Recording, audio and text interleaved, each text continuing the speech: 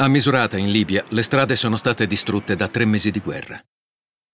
La gente comune paga il prezzo dei combattimenti casa per casa, il fuoco dei cecchini e il bombardamento indiscriminato di aree residenziali. Il numero totale delle vittime civili è ancora sconosciuto. All'ospedale Al-Hikma di Misurata, Malak al-Shami, 5 anni, ha in mano il computer del padre e guarda le foto di suo fratello e sua sorella. Tre settimane fa, mentre dormivano, un razzo Grad ha sfondato il tetto della loro casa.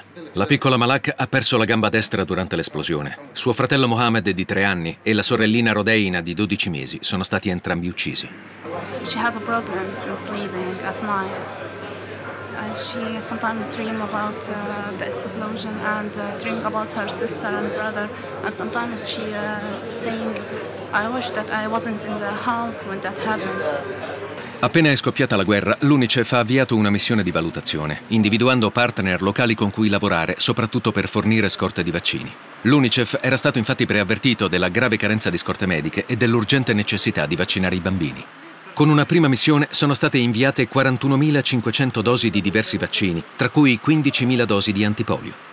Gli operatori UNICEF hanno visitato anche una scuola dove 25 famiglie erano barricate da settimane dopo che le loro case erano state distrutte. In una delle aule della scuola c'è un modellino fatto dai bambini che raffigura l'orrore che vedono dalle finestre, i carri armati, i cecchini, i corpi senza vita nelle strade. And uh, with continuous shelling and uh, snipers, so it was uh, it was very hard.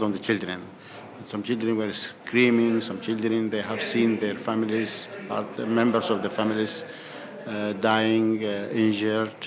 From what I have seen from the discussion, I think the children uh, in Misrata, they have experienced uh, more violence than the children uh, in Benghazi, and uh, we'll work with our partners to bring in services and recreation kits and whatever required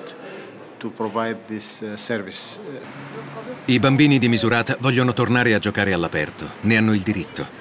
I genitori però sono preoccupati per le bombe a grappolo e le mine antiuomo inesplose che possono nascondersi sotto la sabbia e le macerie.